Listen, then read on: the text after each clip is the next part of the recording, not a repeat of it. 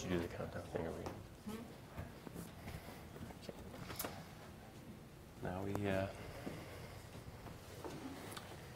Hey everybody, thank you for joining us today. Uh, we're on SketchUp Live episode 4. My name is Josh. Over here in the festive Santa t shirt is Aaron. And Hi. our guest today is John Brock, who's Hello. a custom builder from Virginia, who's also a bit of a SketchUp ninja. A ninja. ninja. Josh kind of throws that term around. Let's don't, don't, don't What's let it go your head or anything. I'll take it. Yeah. Take it. I got a cool SketchUp face now too. So John has really taken advantage of SketchUp and the SketchUp API. He's not only incorporated SketchUp heavily into the way he designs and reviews buildings before building them, but actually has some extensions that we're going to look at today. Um, one thing I want to throw is, as, as we're going through here, if you guys have any questions for John, post them up right in here in, in Facebook, put a question, and we'll try to address as many as possible as we talk to John. So, Cool. welcome, first Thank off. you. Thank you very much. So, when did you first get into using SketchUp? Because I know you've been using it for a while in your business. It's, it's kind of a big focal point of your business. But when was your first time you got into SketchUp? Um, used lots of different CAD programs, but I was using SoftPlan uh, quite heavily. And I used to do certain things that I couldn't model in there. I would use SketchUp and then import them into SoftPlan. But I got more and more wanting to be more customized, wanting to not have everything. It was, it was a parametric modeler, which was neat, but there were some things that it couldn't do, or there were some limitations. Where in SketchUp, I can make it look like the exact product. Sure, sure. And, uh, and you got all the different third-party plugins and Thea and V-Ray, great rendering programs. So I just decided that was the course I was going to go. That's great. And we first met John back in about 2015 in Atlanta uh, during the AIA conference. And what was kind of surprising to us about John is how amazing his SketchUp models were in terms of detail. So a lot of, a lot of stuff drawn, uh, really amazing detail shown in the actual 3D model. And that kind of leads us into a little bit about what you have now called Estimator for SketchUp, which is Yeah. an extension available on the Extension Warehouse. Yeah, actually, I left I left the AIA that time going, you know, I don't think that they're going to do an estimating program. I felt like I really wanted it, and so I reached out to some programmers and found a guy that would do it for me. So the whole idea was that everything lived inside of the SketchUp file. So you know, uh, I wanted to not have to leave SketchUp in order to get my full estimate, because a lot of programs, you know, you'll you'll export it to Excel and clean it up. Well, then the client makes a change. I'm a custom builder, so clients make changes constantly. and so, you, well, did I make the change here? Did I make it over there? So the goal with Estimator was that it was 100% inside of SketchUp. You didn't have to leave. And uh, so any change you make in SketchUp, and it's real-time reporting. So whatever you, you know, assign a price to something and you replicate it five times, you'll get five times the cost. Awesome. So, we can take a look at it, right? Sure. Sure. Yeah, let's jump in there. Uh, this is a, this is actually a sample file or a model that I, I give away um, with Estimator just so you can have an idea what it can do. Uh, this house is fully modeled. Um, everything has a price associated with it. Down if I clicked on a column, you'll see how much the column costs as soon as it wakes up, and then you can report out anything that you select. Uh, but I do take it all the way from the foundation up, all the way through all the framing. So, for instance, if I looked at the main floor framing, you can see that it's every stud, every header, everything is in the sheathing. I even put the Tyvek texture on the outside. I want my clients to see exactly how each phase is going to look um, and know what to expect. Yeah, it's pretty close to what you actually will have in, in the real world. So It's very kind of nice to yeah. be modeling in, in 3D and in pixels, but it's very close to what's going to happen on site. Right. Well, and what started the whole um, push for Estimator, or the goal for it, was that I could model this pretty roof. Well, how many squares of shingles is it going to take to put on there? Yeah. And so the way I've got it set up is, you know, you can actually get purchase orders out of this. So, for instance, if I looked at uh, there's roof framing, if I looked at uh, just the roof framing package, all these rafters, because I would order them separately, so I can just select everything that is my rafters that I have in there, and then I can just run a report, the nice HTML report, and that's all my materials. And with Estimator, you can put your own company logo in there, your company information. This is a generic version that I have on there right now, but you can then print it or save it as a PDF. In this case, I just send it to my salesman as a purchase order. I love this because it's not just modeling to make it look good or for aesthetics. Everything you draw actually has a pretty unique purpose, and Yeah. down the line really can help you, you know, do a takeoff like this, which is very useful. Yes, and and really the the beauty of it too is anything that you save uh, as a component. For instance, like this column that I was clicking on. If I was to save that to my library, the next time I bring that over, I already have all this cost data associated with it, so I don't have to reinvent the wheel every time. Uh, same token, if I'd already assigned, uh, you know, like a lot of times the clients will see something like this gabled texture, these shakes, versus lap siding. And there's a big cost difference between those two. Yeah. So since the pricing is associated with that texture, just that simple act, if they say, well, how much would that be using the shakes? And I can just paint it with that texture and instantly tell them how much. And Yeah. they're making their decisions like that versus, hey, let me get back to you. Right. So yeah, that's information that's nice to know mm-hmm. right when you ask the question. Yeah. Awesome. And this is you know customized to this model, but any other texture that you bring in, that's the beauty. SketchUp lets you use any texture you want. So I can go and pick up, you know, like this is a rock texture that I've used before. So I literally took a picture of the house that I'd used it on and made a seamless texture in Photoshop. So Uh, let's just back up one step here to show people maybe how this works from basic geometry. So can you go off Sure. to the side, maybe do a quick slab or something Yeah. with some basic lines and. Well, let's just say you had a, a, a, a basement slab that looked something like this, right? And you pull it up. Oh, estimator's trying to work right now. Pull it up four inches. It looks like a typical slab. Make it a group. But then if I go over and assign it to my basement slab layer, and I've already got lots of different costs associated with that. So with everything that we model, uh, we have attributes of, of length and area and volume. And so Estimator lets you take whatever attribute you want as many times as you want uh, to create as many products or byproducts of that. So now when I So, and those those values you're talking about, those are user defined, right? So I can They're completely user defined. Yeah, the whole thing about this program is it doesn't matter if you are a home builder or you know a car builder or anything that you're using SketchUp to model and you want to report out what it is. If you were building this bench right here, or you know you've got tables and chairs in a conference room and you could add these things, and maybe it's a maybe it's an event planner. And they're wanting to put all these tables and chairs together and get an idea of how many it would take. It will report that out. So it could be a simple thing like an interior designer needs to figure out what's in the room, what it might cost. So Exactly. It could be complex or a quick takeoff. And for something like this slab, that one action that I did of creating that slab, which took a matter of seconds, I can see exactly, if I run a report on that, there's my termite protection, my quantity of concrete, my finishing labor, and my poly underlayment all in one simple thing. So you can keep using the geometry and adding as many costs as you want. So, Okay. Yes, we had a couple questions come in. Sure. Um, Hank's asking about interfacing. So um, you do have sort of a open interface in, in your file export. You export CVS files. Uh, yeah, you, well, you can take, um, you can run a report in the HTML that you're seeing there, but you can also export as a CSV file and then bring that CSV file into another program. I don't have any kind of, um, you know, small guy here in Virginia. I don't have a, a software company that, you know, that I can, or programmers that I can get to say, hey, let's make this work with QuickBooks or something else like Right. that. There is some integration you could do, like, uh, for instance, my vendors Mm-hmm. or your vendors that you can have either in, like in QuickBooks, I just exported the list of vendors and put that as a, one of the one of the custom files that you can have in Estimator is you can bring your own vendors in. So it's a simple file, it's a CSV file. So you just wipe out, you know, the ones that came with it, or, or, or it's blank, and then you put your own vendors in there. So the next time you're going to enter in cost data, you just, in the vendors, you just start typing your vendor's name, and it auto populates. That's nice. And it also has cost codes from NAHB, National Association of Home Builders, that are built into this. But it can be any cost codes. You can completely customize it. So it's an option, but not, you don't have to use It just comes with it as a way of providing structure because it's going to report out in a code type thing. Starting with But- something is Yeah, important. but you could say code 100 is whatever, code 200 is this, code whatever you want to do. That's awesome. So you can wipe it out and start from scratch. Uh, I got a question here from Daniel. I like this one because so he, Daniel asks, how long does it take to, to model and organize? I often like to teach in, in SketchUp that it's good to organize things up front. So with your extensions, actually very important to do that as you're modeling. Right. So talk a little bit about that. Uh, how you might think One of the first things that I do is I. I bring in the floor plans. If, if it's one that I've already designed, I don't typically, in, in it, you know, most of the times I'm working off a set of plans because I'm building something that somebody else has designed. If I'm designing it like I did in here, um, I used SketchUp to do that. But for instance, I got the floor plans in here and I'll stack them, make sure that they overlay uh, properly. And then I just start building it from the ground up. I'll, put, I'll do the foundation. Now I use Profile Builder for a whole lot of uh, extru- extrusions of things like these foundation walls. That's actually an assembly. That one simple action, I've got my foundation, my anchor bolts, my drain tile, and footings and steel.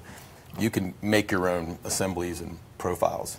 For those that don't know, that's an extension that allows you to do it basically like the Follow Me tool, but you can um, pull profiles together and pull them along a path a lot like the Follow Me tool, but you can do that with a bunch of profiles at once. So that's what he's talking about there. Right. It's like follow me on steroids. It's really, really powerful. But then also each of those become a layer. So the foundation wall is on a layer, the footing is on a layer, um, and then I can use the lineal footage for my labor. I can use the cubic yardage for the concrete. So once you've got it, you can add as many costs as you want to it. And you can also report out now. You can you don't have to put a dollar amount in it, so you can actually it'll report out quantities. So I mean, literally, this could be used anywhere for anybody. Yeah, yeah. It doesn't. It doesn't have to be a house. It's, yeah, it's it's completely. Uh, awesome. I mean, I've got people in the aluminum extrusion industry that have purchased it and they use it for, That's you know, awesome. something completely unrelated to anything I ever do. Right. But so the you know the question as far as how to organize, I literally start from the ground up, just like I'm building the house, and I, that's why my scenes, my SketchUp scenes, are in phases of construction. So you can see I've got my basement framing. You know, you can see I've got treated plates because it's going on concrete, and that's on a different layer, so that estimator will report out my treated plates. And again, it's taking it to a level that you don't have to necessarily do. I also have this takeoff length uh, uh, tool that comes with Estimator that will let you accumulate links. So you could just have your basic SketchUp model walls, and then you could just pick those walls and then say, okay, use the lineal footage to determine my plates and my studs and drywall and things like that. So I just choose to take it to this level. You know. That's great. No, it's a great looking model too. The Yeah. same Daniel's um, asked a little bit more about different models for different purposes, but for what you're doing, it's all one model, right? It's all one model. Now, I, I run into some disagreements with, um, you know, guys like Nick Sonder and people like that that have really, really great processes and procedures that they follow. But to use Estimator, I want everything in one file. Yeah. Now, you don't have to. I mean, you could certainly do multiple files um, because my, my files do get rather large. And, and there's a lot of lessons learned from that. And you know, we were talking earlier about materials and making sure you're not overly bloating a file with heavy textures and things like that. That's So- a good tip. So we were talking earlier about uh, this this Tyvek texture. Mm-hmm. You know, it's not a texture that needs to look amazing. It's just representative of what that material is. Yeah. So even something like that, you want to make sure it's not abnormally Yeah, it's large. very low res, but it gets the idea. You know, they can see it. And I was telling Aaron a little while ago that the Hey guys, sorry about that. We had a little bit of a technical difficulty, but we're Oops. back up and running again with John Brock. Uh, John was showing us his estimator extension. We had a question come in about pricing data. Specifically, can you import pricing data or you have to enter it in estimator? yeah, no, you have to enter it right now. The current version, you have to enter all your pricing data in. And we're working on a version that'll have a database that'll make it a lot a lot nicer. But I'm at the mercy of programmers. So, uh, And that's actually yeah. something I wanted to call out is John himself is not the programmer No. for this. No. He's the I'm the I want to call you the brains behind Yes. it. Yeah, that's I'm the that's guy awesome. that's bugging everybody. I want it to do this and I want it to do that and make it happen. And I, we call so- those product managers. Yes, here. yes. exactly. It's also kind of like commissioning a great work of art. Yeah. Yeah. John knows what he needs. Someone else, someone else can make it happen. Yeah, but please feel free to email me. I'm always responding to people with you know Yeah. variety of questions every day, really. So I'm, I'm you know I love to try to help. Great. It's a great community. Awesome. Um, so I had a quick question, John. Um, what is Estimator software right now? $149. So when you're looking at, at Estimator versus other software packages, um, obviously you've done that cost comparison, looked at it. Is, Right. That seems like that's pretty inexpensive pretty compared to framing or estimating other softwares out there. Sure, sure. And it, and it, and you know, there's other tools that, that come along with it. Like I said, estimator's got takeoff length and takeoff area. You don't have to model every single stud and that sort of thing. Like I said, you could you could use takeoff length. It- I used to do takeoffs by here's my plans, here's a ruler, here's a mm-hmm. here's a calculator, and I would use the lineal footage of walls and do assemblies. You know, Right. then later went to Excel and that sort of thing. But you could do the same thing with takeoff length, and you could take accumulate links of anything. It could be gutters, it could be ridge board, it could be anything, you know. But the point is, you could then take that layer and use the attribute of length of that, and you know, create whatever you want cost-wise out of that. So. It's, it's a lot of power to that, and same thing with the estimators. that take off area uh, lets you accumulate areas the same way, but you can also use native tools inside of SketchUp to do the areas. You know, That's awesome. so materials in Estimator is sort of like an area tool. So you would you got to make sure that you don't paint all surfaces of something like a slab. You wouldn't, you know, or a wall. You wouldn't want to, you know, put it on every single surface because then it's going to, you know, really screw up your totals. Yeah, so you don't want to paint backsides or anything yeah, like yeah. that, or Yeah. so it's just the, just the surfaces you want to actually. And you can do some number. things on a layer, like you know, for instance, uh, like subfloor. That's on a layer, and it's not using the. I wanted the whole material to come all the way through. So what you're seeing there, since that's on a layer, is that um, it's using the square footage of that layer, you know, and then dividing it by you know 32 for how many four by eight sheets of plywood and that sort of thing. Right. And then, and uh, so another thing I do is I actually will cut out the holes for the toilets to see if they're on top of a truss or a joist or something like that. So it's this, the constructability side of things where you Right. you're using it to make sure that you don't have any clashes in the future. Wait, speaking of constructability, Yeah. that's a fun sounding word. Yeah, I misspelled it the first time. So So uh, talk about let's talk about constructability. Constructability is not uh, software. This is more of a service that you offer Right, as, right. as a home builder. yeah, and actually, I you know I've been building my houses before I built them for a long time now, and so I, I'm in a peer group of builders that you know from all across the country, and they've always liked what I've done, but you know they didn't think that I could do that for them. Hmm. So I've had a few that have hired me to build it before they built it. So you know I've been building for 30 years, and if I find a problem that if I have a question, they're going to have a question, and it's amazing because you, you know you got architects design the place, right? Structural engineers will come in and put beams and headers and things like that in, and then you know you may have a TJI guy or truss manufacturer that are designing the trusses, and then you may have a civil guy that's doing the site plan, and then the builder's kind of in the middle dealing with the discrepancies, you know, discrepancies and the fallouts and the costs. And so, um, you know, the one that I've got up on screen now, I don't know if it's showing, but there's a, a builder that hired me to um, to model this house before it was built, and I'm constantly finding clashes. So, you know, I modeled his house. Like if you looked at, um, uh, there was hearth slabs. So I used the structural guys' plans. There's a hearth slab for a masonry fireplace in here and here and over in this area. But I got the plans from the TJI guy that look like this. It's two dimensional. You know, you're not going to see conflicts like that. And um, so I took, it was very well done, but I basically modeled everything in here, brought it over into, uh, back into SketchUp, and then you can see all these TJIs and beams were running right through, you know, the concrete. And then, of course, I keep going back to this one right here that says must be approved by builder before ordering, because th- he's holding. Pass know- the buck. Yeah, he's the one that's paying for this thing. So that one mistake alone saved him some money. But I also I modeled his site, so I took the, the site plan, and when I modeled the site, um, I knew when I first saw it that the, the subfloor elevation was only six inches above the ground elevation. Well, they've got a 12 inch floor system and all that kind of stuff. So when I modeled it, you could see graphically in 3D. We see it in 3D, so why not model See it it in in 3D? 3D, Yeah. yeah. Speaking of that, how do you communicate these things that you find to them? Um, so I've used a, uh, a plugin that I've created that I'd love to hear some feedback if anybody's interested in it. It's not on the market. I haven't put it out there yet, but it's called Issue Tracker. And so what you can do is if when you find an issue like like we're seeing here, is I can just take this little tag out here and, and uh, I click on it and place it in there, and then I can say, okay, where the location is, the category, maybe it's structural, type out what the issue is, and what that does, it actually creates a scene, a SketchUp scene. It also lets you create a thumbnail image of that if you were using cool. a PDF maker or something like that. But then I can go to layout and actually don't have to retype all that kind of stuff. I can actually use the smart data that was assigned to that over in layout so they graphically can see. It's not a report saying, hey, we have an issue with your foundation.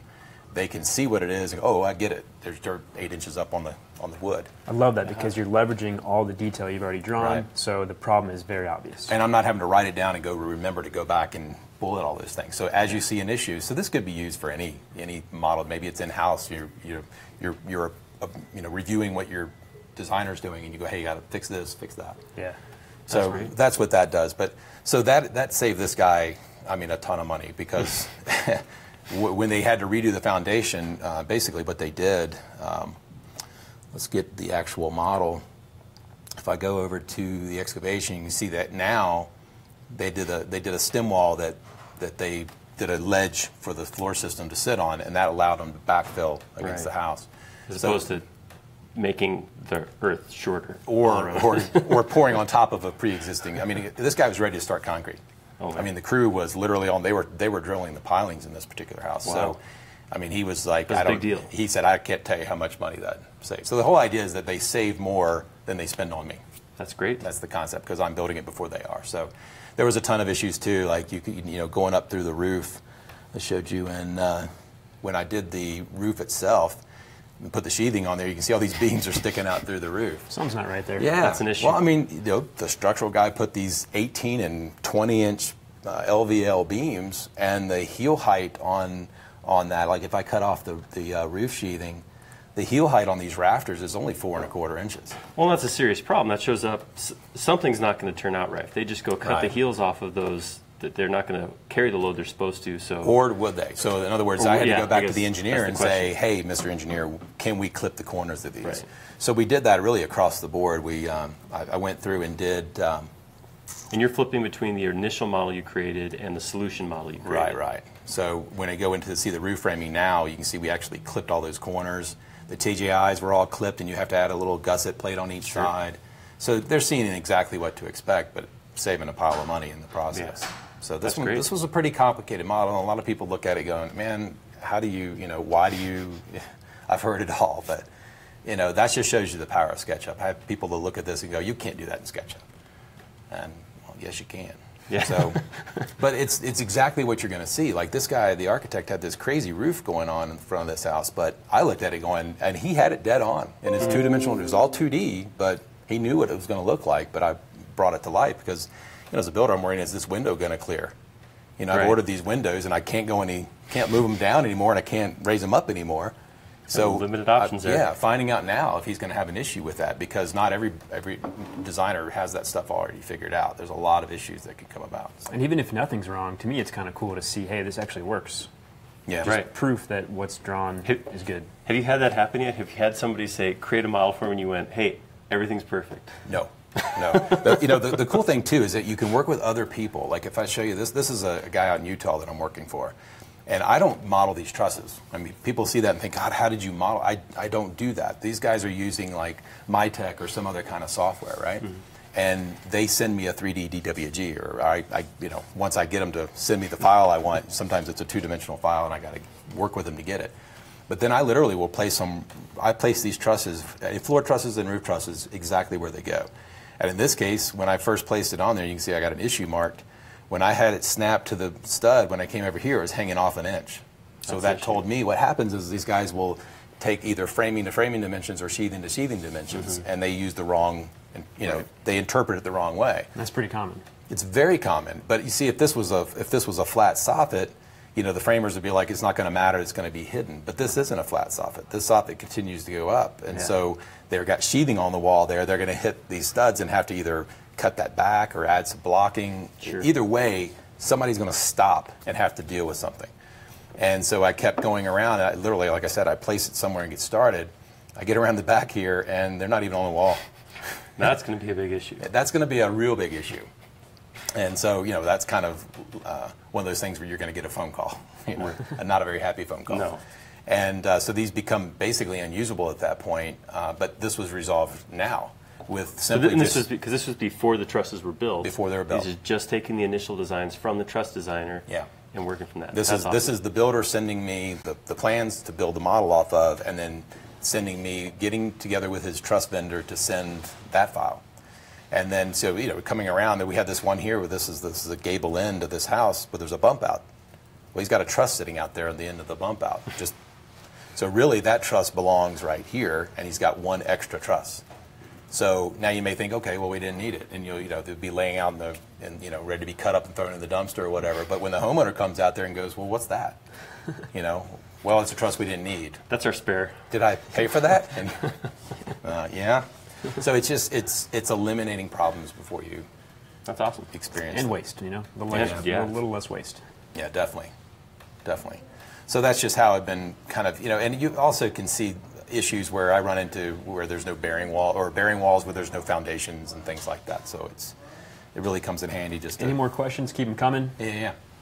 Yeah, so we're ta- again we're talking to John Brock uh, about his estimator extension and his constructability service he's offering as a builder. So if you have any questions on either of those, shoot them in, and uh, John will do his best to answer.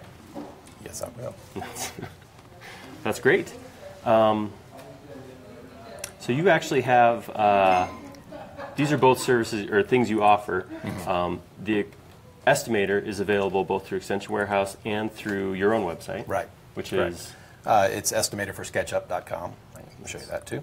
sure. So basically, you can either download it here, you can try it out for free, both on their warehouse and on my store. Either one works fine. And um, you know, we have some tutorials and some some other information on there. I've been busy out building houses and not doing tutorials like I should be, but but we're trying. The intro video's got a nice little tune, so put your volume up. Yeah, yeah, yeah. Copyright free tune. and, and actually, that's a really um, very detailed house that I just finished, and and SketchUp gave me the ability to show these people everything before it was done. That's awesome. And uh, I created monsters with them because they were constantly wanting to see every little thing. of course. But they'll tell all their friends at cocktail parties that you know we saw it before it was built. We knew exactly. We had, we were confident because we knew what it was going to look like. That's great. But like, but then their master suite, you know, this is the tile they're using in the shower. This was the how they wanted the glass doors to go. This is the color on the vanities that they wanted. This is this rock they wanted behind the vanity you know, itself. And it was able to model all that. And then another cool thing about SketchUp is we got all these third-party additional programs that we can use. So I actually put I, I put myself in that bathroom and into Lumion, and went into my Lumion and created a virtual tour that I That's could then send to them. So same thing I'm doing with the framing bit too. I'm, I'm creating the whole virtual reality tours and uh, giving them the little glasses to use. They don't have to use the. That's big awesome. headset type thing. And um, so it's just lots of little deliverables that you can give to your people. Something you mentioned was, you know, using extensions. What are what are the other than Estimator? Right. What are your go-to extensions? What's the extension you cannot live without in SketchUp? I would say probably Dale's uh, profile builder. I use it f- for so many things. Um, I use it for lumber. I use it for trim, uh, gutters, whatever. Anything that you need to extrude around. And then the cool thing is, Estimator will read those lineal footages. So you're seeing it, modeling it, but getting quantities out of it. so I use that all the time. Um, in addition to other you know, rendering programs and things like that I use, I would say Profile Builder is one of my go-to. There's a ton of extra plugins that guys like TIG have done. You know, like Mirror, I use Mirror all the time. Um, I probably have a few more. This I bet you have some that you don't even realize you're using as yeah, it's extensions. constant. Yeah. just- yeah, it's it's pretty constant. And I've got a, a framing plugin that I'm working on, and I hope I'm not showing that right now because it's not done. But there's there's some other cool tools that will help speed things up. And speaking of tools, this is this is something you mentioned you can't Yeah. live without. Yeah, man. Your 3D mouse. I don't know if you guys notice how smooth. It's like a John's a, smooth operator. He just yeah, like a surgeon. Yeah, smooth. Look at that. Zoom right up, Oh, so right much, out. so Yeah. nice, so smooth. You're not sitting there, you know, scrolling the wheel constantly Right. and switching from O to H and all that kind Right. of stuff. Is So that just- so? When you do you actually take your customers through SketchUp models, and do you actually like will they come sit down with you and walk through it together? Sure, sure. Yeah, I, if they're in my office, I do. Um, but it, it, it's hard to know what deliverable to give a client, Mm-hmm. especially you know I build for retirees, and a lot of them are they're not going to want to go into a 3D model. Right. They want to see it, but they don't want to necessarily go in it. Um, some of the things that I do, like I, I've done this for a, a builder in Memphis.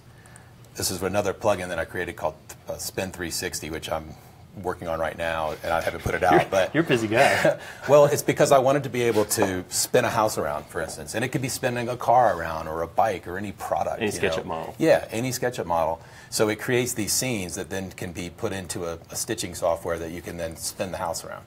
So this client wanted to pick out their colors and pick out, like this was originally lap siding, and they didn't like that. They wanted to see it with board and batten, that sort of thing, and different, you know, what Sherwin Williams paint color they wanted to use.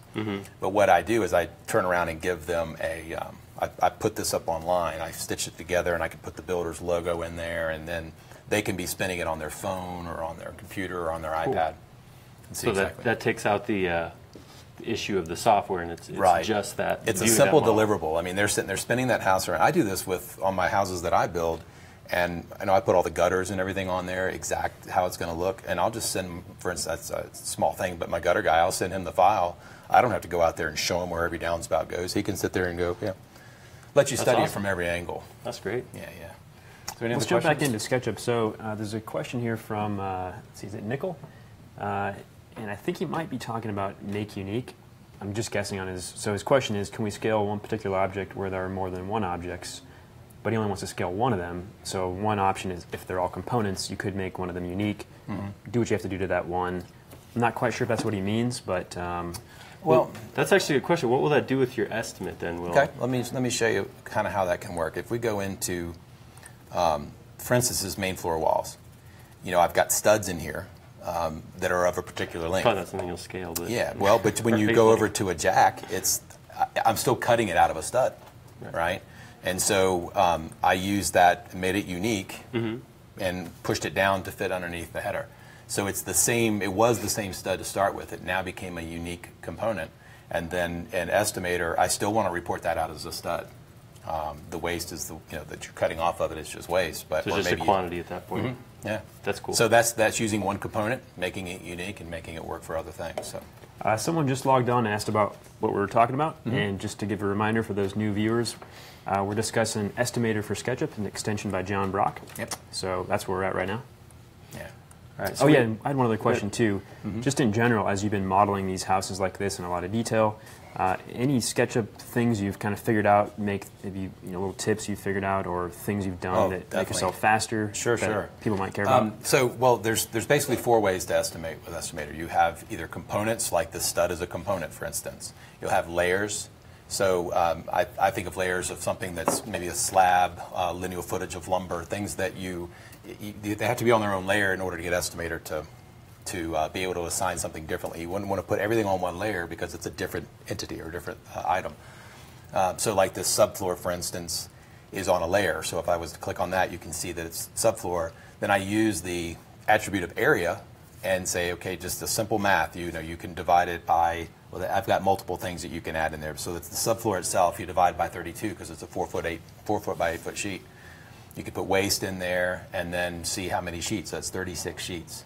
But then you can further take that and add as many associated costs as you want. So you can say, okay, I want to take the area of it, and I came up with a multiplier for how many screws that it takes to screw down the subfloor just by looking at past Wow. data and going, okay, well, we used three boxes on this job, and it was how many square feet? And we used, you know, just took like five or six jobs to get a number that would work. And I'm sure this this data is could be found online too, you know.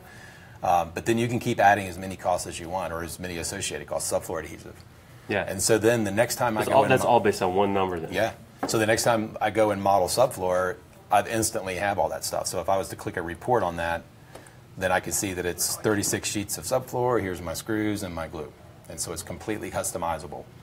Uh, and then the other way is materials. So think of materials as an area tool. So you apply a, a shingle texture to the roof, and then everything that's associated with that area or that uh, uh, that material, then we'll use that total area, the SketchUp area, and uh, use a multiplier for how many squares of shingles that you need and that sort of thing. I'm not sure if our viewers uh, know that tip, but you can, if you uh, click on a texture in SketchUp, you can find out the area Right. of that texture in your model. Yeah. So this, it's yeah. So if you were to look at the um, roof itself, so if you were to drill into any one of these, it's actually going to try to chug things that's, down. that's something we should point that out too. Is you do have the option of estimating on the push of a button, or you can just constantly Right. be updating your estimates. Right, so it shows in the entity info what the area is, but yes, if you went into Estimator, it should give you that same area if you're looking at materials. It's basically seven squares of shingles on that one area right there. But yes, this is uh, this is real-time estimating. So it's I, I wanted this to all live in one file. So everything is everything you do in this one file of SketchUp is going to be able to be reported. But um, but yeah, you can cut that off in your settings and cut off real-time reporting. So when you get into these big models, you can really start chugging things down. So you can just cut off the real-time reporting and eliminate that issue. That's cool. Uh, the last thing is use is quotes. So again, you're not going to have you don't want to model a dumpster or a portable toilet or anything like that or labor. How do you do that kind of stuff? Right. So quotes lets you enter as many quotes as you want for general conditions or labor or anything like that. So the whole idea Line item. yeah. Just- so the whole idea is when you're done, and I get everything in the model, and even the site, I, you know, how much sod's going down. I can use the area of the grass for that. Same for the driveway, how much asphalt, um, that sort of thing. And then, of course, this one had a boat dock on it, but you select everything that you want reported, and it's, it's going to take a second for Estimator to crunch all the numbers. Meanwhile, Freddie says he loves SketchUp. Cheers, Freddie. We love you, Freddie. um, so while that's while that's going, a question came in about landscape, about that topography. How where where do you get your topography information That's from great, for models? that's a great question. So, um, we'll look at that. Um, Your constructability model had. yeah, the Like constructability pretty model had it. So if we look at uh, this, well, even this one has. I'll be given the getting the contours out of this. So see if I have those in here. So if I go to layers. Oh, that's my scenes. All right, so if you go to layers, I've got a layer that has my contours. So you can see these are the existing contours on this side. Okay. All right, so um, what I do is I use a sandbox tool or Topo Shaper. Use that a lot. So these contours, now I get these contours from, typically I get them from my surveyor. So uh, if they do a topo analysis, a lot of times I'll get the topo, the contour lines from them. But you can also uh, create them from scratch. So you get that, is that, is that a CAD file that comes in, yeah. a 3D file, and you just pull those lines? Im- import it into SketchUp, and then you can select those contour lines and use a sandbox tool, tool to, from contours, create that skin. Uh, there's a plugin called Topo Shaper. It's a great plugin. I use it all the time. And what Topo Shaper will do is actually put the skirt that you see here to it. Uh, the only difference is I, I actually edited it to close it to where it would be a solid. Um, because I model the before sites and I model the after the site. so you can get an idea of cut and fill instead of telling your client, hey, you, you know, you might have to haul some dirt in or you might have to haul some dirt away. Um, I can give them quantities. Like this, uh, this site right here, when I ran the before site and after site, I don't know if I have this, it's been a long time since I've been in there. So, see, like this is the proposed or the ex- existing site that was out there. Maybe not so you can see. Well, that's actually at the excavated site. Okay. Okay. Oh, so this is before on the left. This one is the, that's the existing site. That's what it started with. Okay. All right, so when you look at it, it's got a volume being reported, and then I can compare those two volumes and get a, an idea. But this particular job, it was like nine truckloads or 10 truckloads of dirt is what it came up to. So the day I did the backfill, Coming or going? to come in to Okay. backfill with. So I had to add that to my budget, right? That's a- that's a I big mean, deal. that's a number. That's not a whole lot for that house, but some of them get up to ten or fifteen thousand dollars worth of dirt. You're either hauling off or you're hauling in. And so this gave me an idea. so we awesome. were backfilling that day, and we brought in nine truckloads of dirt, and it got dark on us, and we stopped. I thought, well, I'll see if I can live with that. You know, at the end of the job, I had to bring one more truckload of dirt in. So, uh, but yeah, the site modeling. Um, you can uh, you can get a lot of information out of that, and just using a lot of the existing tools. You know, the, either either sandbox tools or um, or using something like Topo Shaper. Yeah, we do have actually a skill builder file up there that addresses both those things: how to take lines and either make uh, a final model from Sandbox or Topo Shaper. So Yeah, like perfect. this is the one we were looking at in the constructability, and that's where I could see so the, the existing topo lines were dashed, and the proposed are solid. And cool. I did not have this in a CAD file, but it wasn't that big of a site, so I literally just traced over top of it, and um, and then moved the contours up into position. So, you know, you, you got to do a little bit of work to get there. And so what I did is that these are at 550 some odd feet above sea level, and I just moved them up 50 feet, 56, 58, and that sort of thing. Didn't have to go 500 feet up in the air to do that. For something like uh, you know dirt and, and ground, tracing pixelated data to me is totally fine. You're getting pretty close, and you know that's going to give you a good good. It's going to be a good representation, yeah. So I mean, Yeah. I literally just traced over top of these, and I just use lines. But then, oh, there's a plugin called Weld. You ever use Weld? Mm-hmm. Very good one. So I would trace over top of those contour lines, like you're seeing in there, and then triple click on it, selects every one of those that are that are joined, and then hit Weld, and it becomes one polyline. And then I move that one polyline up into position. That's great. And I make sure again everything's got to be on a layer for me that so I can control its visibility. So those went on a layer for existing contours and a layer for proposed contours. That's cool. And back to that other question, that's that's good to do that stuff right when you're creating the geometry. So even if you're not quite sure how you're going to use your final model, it's always good to organize that stuff up front. That way, when time comes, you can easily pick apart the model, turn things on or off, and Right. it's a good way to model. And I've got a template that's got all that stuff in it. So you know, and again, it it's it's something that's proprietary, not proprietary, but in the sense that it works for me. Yeah. Everybody's going to have their own uh, systems and processes. but somebody asked how much time did it take a model like this? I, you know, for a house like the one that you're seeing in this example model that I did, And this, was the one with everything. model. everything. I mean, Absolutely. everything is in it down to even, you know, stuff on the inside, eh, all the interior finishes. And here's a cool example of dynamic components. My wife hates TVs in the room when I want a TV in the room. She's an artist, and that's one of her paintings. So I was able to use one of her paintings in there. But it's a dynamic component, so if you were to click on that, it's on a lift. So it goes up. Yeah, for so I get the that- geek award. Uh, pull up that toolbar, the you know the view uh, toolbars thing. Oh. dynamic components. There's a couple. There's like three, I think there's three buttons there, and Oh, that's just the yeah. that's the activate. There it is. Yeah. Yeah, yeah. That's the activate button. That just uh, if something has an action to it, it'll. Yeah, for instance, The you know, finger button. Yeah, the finger button. So doors, I'll make uh, if I go inside here, I'll make a door open and close.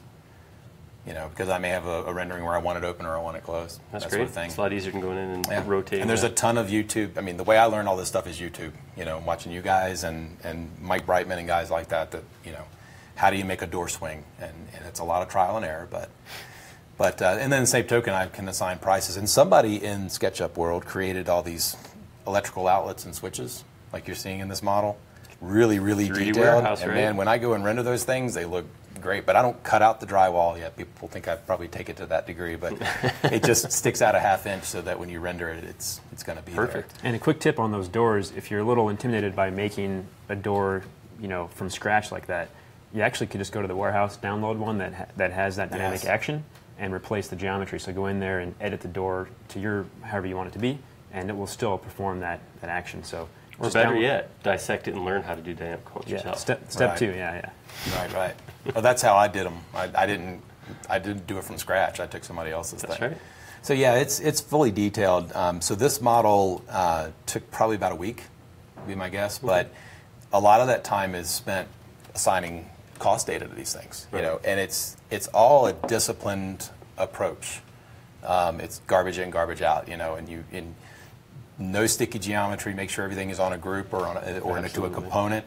Then, if you're making a component, be careful to realize that if you copied it over here and you manipulate it, you're changing something off the screen. That you know, so there's probably a lot of frustration that people deal with, but learning the differences between groups and components. But So your your constructability models, just because we don't know who, who he was talking or which uh, model he was talking about, your constructability models, how much time do those take in general when you create those just frames? Um, Yeah, see, see, those are just those are just structural models for the most part. Now, That's this one, quick. yeah, like uh, the one that I did here for this guy in Utah.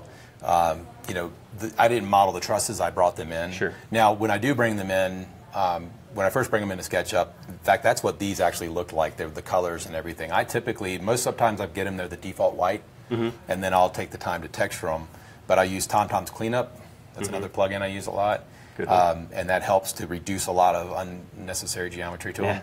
And then, um, but then I'll save them as their own SketchUp file and I'll scale them because most of the time, almost every truss that comes in, or when I get some of these things, they're they're off by a factor of 12. Hmm. You know, 12 times it. So I just scale it down 0.0833 and it scales everything down to fit. Like you've done that once or twice I've before. it a million times. 0.083333. So And there was a question that I saw cruise by earlier. I forgot about it. Uh, I think they just asked, uh, at what point do you color your components? And the short answer is it doesn't really matter. But if you want to just jump into to one of your components there and, and show that the, the best practice is to apply a material or a color directly to the face. Yeah, and, and that's something that you guys can probably explain better as far as what's right and what's wrong. I don't want to tell the wrong way. I, I typically texture my models as soon as I can uh, because I want to see what it looks like by adding, Yeah. you know, I can tell that that's subfloor and I can tell that these, this is more like an LVL beam. It's different from the SPF stuff and I've got the treated plates that are green. You know, Mm-hmm. I want to know right from the start how it's going to look. So Well, that's, that's important. I mean, as you're Right. building up, you don't have to go back then and dissect your model, put those colors in as you're creating. Especially, like I said, if they are components, then you color that first one and then It's to done. go. Yeah, yeah. And then talk about the extension or the uh, 3D warehouse. I even picked up some of these hold downs and joist hangers and things like that that you can put in these models. So And those will actually get taken off with Estimator as, as quantities. yeah, yeah. And that's one of the things we're talking. We were talking about that before, but you can in Estimator you can actually take off square, cubic, lineal, or quantities Right. for anything in the Any, model. any attribute, you know, length, area, or volume, or individual quantities. That's awesome.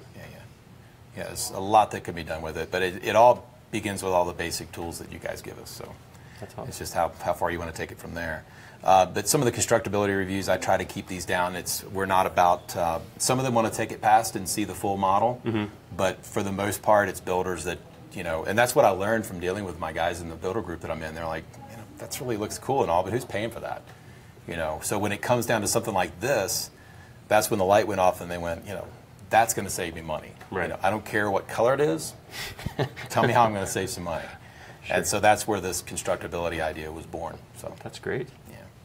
Well, again, guys, we're here with John Brock. He's showing us some of his workflow stuff with his constructability models, his extension estimator. Um, got him for a few more minutes, so if you have questions, shoot him in now, and, and we'll try to ask him before his time's up. Seeing a question now about wall framing. Thanks, Matt. Got a question there? Yeah. So I'm in a transition time right now. So the way that I've been framing my uh, wall framing has been to use Profile Builder to, and that's what I'll show you in a in what you can currently do now with what's available. So if I go into this model here and say, uh, let's go to main floor framing, for instance.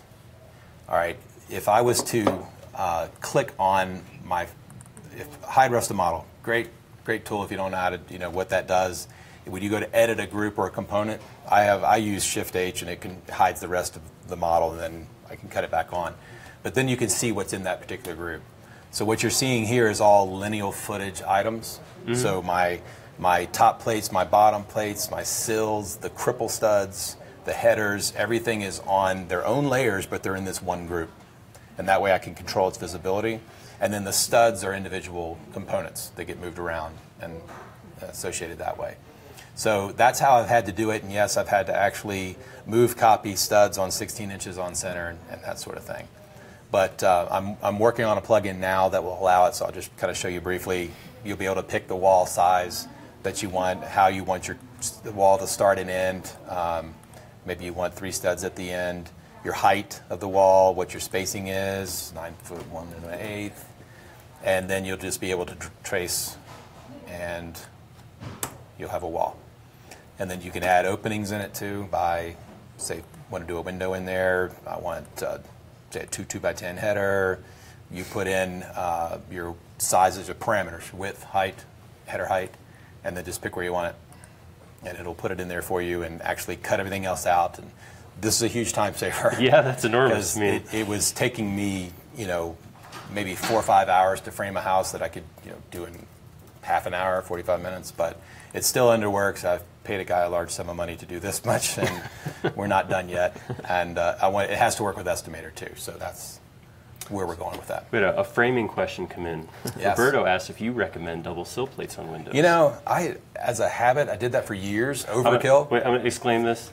This is an opinion of John. It does not directly reflect the opinions of Trimble or SketchUp. There you go. Okay. Disclaimer. um, I used to do double sills. I used to do overkill on my framing, you know, beefed up headers and things like that. But with green building now, it's more of a try to save some. You know, if you don't need to do a double sill, why do it? Right. Ironically, in that plugin that I was just showing you, I have that as an option. Do you want a single sill or a double sill? that, yeah. and uh, that's why that's there. But lately, I've been trying to back off of that. I've been doing California corners where instead of loading up three Right. two by fours at the end, you do turn one off to the side. You're saving a stud at every corner. Right. So, and it's really huge in, in a whole house. Well, how much that will save you? And that's that's a big deal too because framing changes per location, per job, per type. Per I mean, there, there's a million different ways to frame anything, Yeah. and everybody you ask has the right way to do it. Oh, yeah. So uh, it's pretty cool that your software is, is looking like it's going to be flexible as far as how it's going to frame that stuff. You have the option on it. And it's a parametric framer, but it's not. It's not like you can just trace around the whole house and poof, there's your framing. Right. It's it's more wall by wall. And it, it- actually, I didn't show you, but you can cut on sheathing. Oh wow. inside and outside, and it's already cut out the openings and stuff like That's that. awesome. Because right now, to do the sheathing that you see here, I literally put a face on there, pulled it out a half inch, or cut out the windows, pushed them in, you know, that sort of Sure. thing. So it, it definitely takes time, and so we're always looking for time-saving measures. So. So there's you showed a lot of stuff. I mean, some of the stuff estimators available there. Your constructability website is out there, Mm-hmm. but you've also talked about some stuff that's not there. Your issue tracker, Mm-hmm. your framing plugins you're working on. Um, if people want to give you input, which you said you love input, it, yeah. um, if they want to be kept up to date on this, how's the best way to do that? I mean, do they? Just email me. It's I got so many different email addresses. I don't know if there's anything on here or not, but John at estimatorforsketchup.com is one way. Estimator for SketchUp. and that link's probably in your estimator for SketchUp website. Yeah, it's on there. Okay. That's that, that's the contact. Uh, and there's BrockWorksInc.com. So there's a couple different ones. Yeah, he's a busy guy. There's all kinds of ways to get a hold of him. Yeah. Um, So we did have a question about purchasing in U.S. dollars. Um, oh, Good, good question. Because that was the first thing I learned when I first released Estimator. I had you know dollars down there, dollar symbol. So I got a question from somebody in the UK the first week, going, "Well, you know, how can we, how can I do uh, euros or, or pounds or something? So what you do is over in the settings, we came up with this little currency formatting where you can change the symbol and you can change the separators, whether it's a you know, comma or dot or whatever. Yeah. And it's and it works it works well. So you can change whatever your symbol is, which is usually the symbol, but some different currencies they'll change. I had no idea that that was a thing. I learned that not I learned too long that the ago hard too. way. well, you know, the thing is, this is not, you don't have to worry about converting uh, currencies in this. It's one to one. If you're, Mm-hmm. if you're working in euros, it's one euro each or whatever. So the formatting for the, the currency was the big thing. So the symbol itself. So hopefully cool. that worked. Awesome. All right, Well- that's all the questions I'm, I'm seeing there. You have anything else Probably- you want to ask Josh? Or No, Thank you guys for your time. Thanks for having me here. This is awesome. This is this has been great. I've, I've learned some things. I, I think uh, one closing remark is if you're if you just joined us or maybe you're looking at this and it looks complicated, just keep in mind that we're showing you know a pretty complicated use in, in terms of the SketchUp model, but Estimator can be applied to simple projects. Yeah. So I think this is a good way to show something that's a little bit crazy, a little bit complex, a whole house. Right. Right. But you can do things that are much simpler, and Estimator could be a really fast way for you to really just reel off some information that you need from that 3D model. Right. And this I, is like I the probably over, model. I overcomplicate things all the time, so that's just a habit. But yes, it can be very, very simplified. It can be your basic SketchUp models with just pulling up a wall and cutting out a window and wanting to know the area of the walls for drywall or paint or anything like that. It's it's as simple or as complicated as you want to make it. That's nice. All right. Well, thank you, John, for coming. Yes, thank you thank guys you. for watching, and It's uh, fun. Yeah, thanks, John. Thank you. we'll see you later, and we'll see you guys later. See you next time. Bye bye. Thank you.